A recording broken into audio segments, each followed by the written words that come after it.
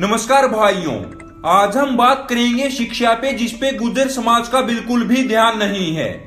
शिक्षा ही एकमात्र ऐसी चीज़ है जिसे पाकर गुजर समाज आगे बढ़ सकता है। माना आज गुजरों के पास पैसा आता जा रहा है, लेकिन शिक्षा के अभाव में हम उन पैसों का सदुपयोग नहीं कर पाए, और अपने पैसों से हमने महँगी कारें, बंगले आदि खरीद ली। बात यहाँ तक भी ठीक थी, लेकिन हमने तो नशों की दुनिया में भी कदम रख लिया। जो आगे चलकर बेहद निराशाजनक साबित होगा। क्या इसी दिन के लिए हमारे दादा कोतवाल धन सिंह गुज्जर ने हमारे लिए शहीदी दी थी कि हम इस रास्ते पर चल पड़े? आज जहाँ दूसरी जातियाँ उच्च शिक्षा हासिल करके बड़े बड़े मुकाम हासिल कर रही हैं, वहीं गुज्जर दिल्ली एनसीआर व नोएडा में अपनी बदमाशी से अपना सुनहरा कैरियर बर्बाद कर रहे हैं। आप लोग क्यों नहीं समझते कि पढ़ने से ही आपका भला होगा?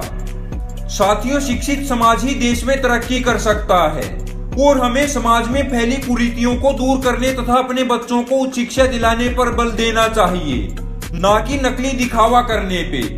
हवाबाजी से दूर रहे, नहीं तो आने वाली पीढ़ी पर बहुत गलत प्रभाव पड़ेगा। गुज्जर समाज का इतिहास उठाकर देख लो, हमारे पूर्वजों ने इतने नेक काम किए हैं।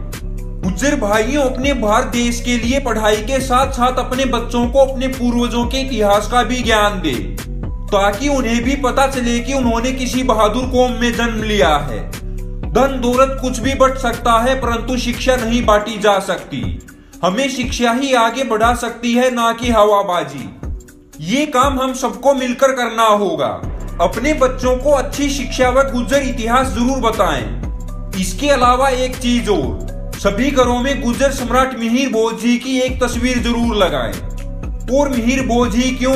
हमें सभी गुजर महापुरुषों के दबे हुए इतिहास को फैलाना है। आप लोग खुद सोच के देखें, दादा चौधरी श्री कोतवाल धन सिंह गुज्जर ने पढ़ाई करके ही कोतवाली का पद प्राप्त किया था। वो भी उस जमाने में जब लोगों को एबीसीडी का भी ज्ञान नहीं था। और अब तो हम लोग 2020 में आ चुके हैं। हम लोगों के पास पैसा है, फिर भी हम पढ़ाई से दूर भाग रहे हैं। सभी से विनती है कि इसे शेयर ज़रूर करें। वीडियो देखने के लिए आप सभी भाइयों का तहे दिल से धन्यवाद। वीडियो को ज़्यादा से ज़्यादा शेयर करें और ऐसी ही इंटरेस्टिंग वीडियो देखने के लिए हमारे चैनल को सब्सक्राइब करें। ने बात मेरे बाबा भोलेनाथ, मेरे सर पे तू इतना एहसान राखिए।